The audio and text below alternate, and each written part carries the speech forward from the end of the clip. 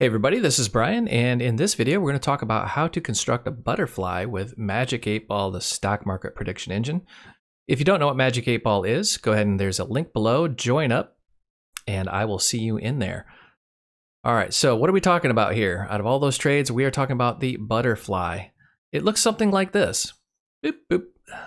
It has low risk to high reward. Now there's a catch, as with everything in the stock market, there is a catch it has to be within this range. And the closer you are to center, the more profit you're going to make. So if we just follow a little ball here, you see we're at negative 100. And then once we get into what's called the profit tent, it goes up rapidly. So if we were to pin this thing, we would make $2,300.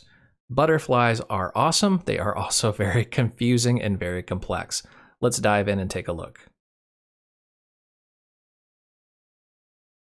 Let's talk about why you would use a butterfly in the first place, okay? Let's go ahead and let's look at Thinkorswim here, and let's look at the day. So we've had a couple downtrending days, and today's kind of flat. So let's go ahead and jump right into today, and sure enough, it's pretty much flat. We can see it's hovering around around 39.40 and change. Let's flip into Magic 8 Ball and see what Magic 8 Ball's got to say. We're going to go down to SPX, go down to the newest prediction, and you can see, ah, yes, node 1 is 3950 and change. So it is predicting a close of 3947 and long term of 3950. So there's our range between the, our short term and our long term. So 3945 and 3950. In case you're ever confused and you want a range, that's how you get it in Magic 8 Ball right there. You can also look at the automatically generated chart and you can see the blue line is the prediction and the magenta line is the actual price. So the price is actually lower than the prediction. This is like the perfect time to enter a butterfly, and I'll show you why.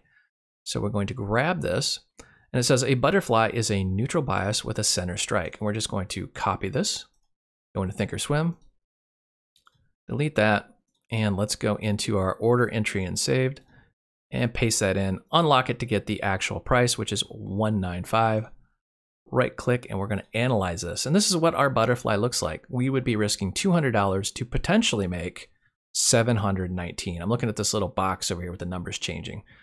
Now, what we want to do, you see, here's where the price is. We want to construct our butterflies so the price is outside and it's going to move into the profit tent. You can see this magenta line, that's time decay, or I should say that's your profit over time. And as the price moves towards 39.50, our center strike right there, we will start making money. So this would be the great time to use this. We know the price is going to move into our profit tent based off Magic 8 Ball's prediction. Now, when would you actually use a butterfly? That is a really tough question, to be brutally honest with you, because butterflies are very versatile, and let me explain why. You're selecting a range, but are you? You can actually turn this into what's called a broken wing butterfly. And let's do that. So we're going to grab this strike. This is 3960. We're going to bump that to 3965. You see what's happening here. Now it's not symmetrical and we would lose less money. And you could actually construct this a little bit differently. So like, let's do this right here. What we've done now is a broken butterfly. So if this price rips up and just keeps going up, we're still going to be in profit. This is insane.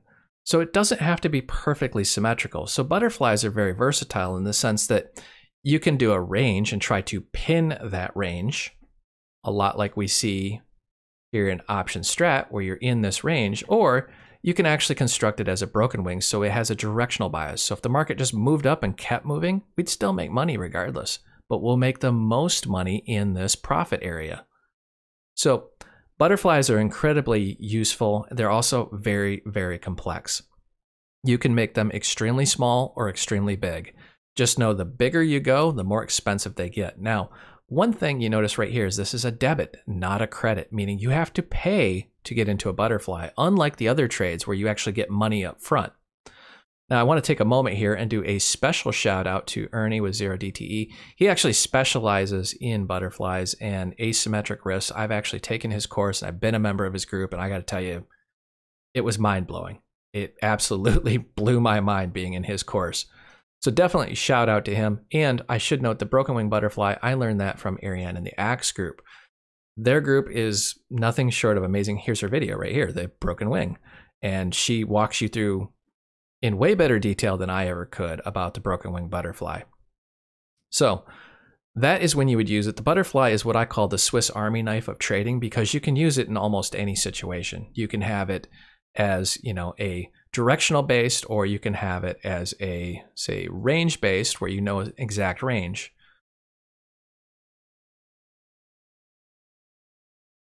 When do you take profit on a butterfly? That is a very tough question, and it depends on who you ask.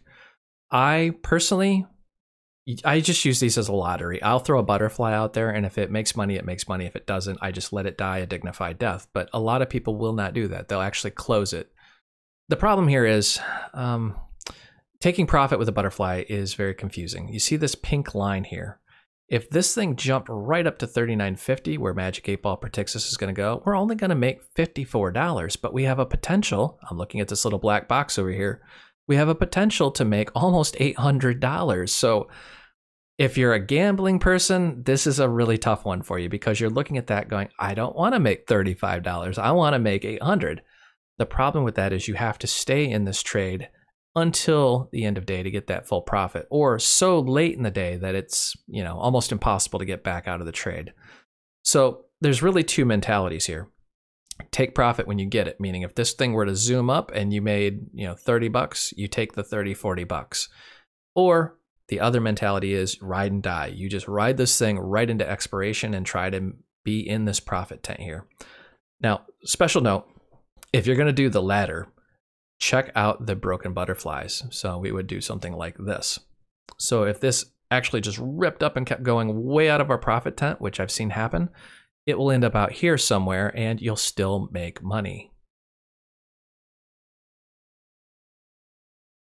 Now let's talk about the dark side of the butterfly, when to close. Um, that's a challenging one you have to pay to get into the butterfly. So you're automatically losing money going into the trade. So you got to really have a strategy and know what you're doing.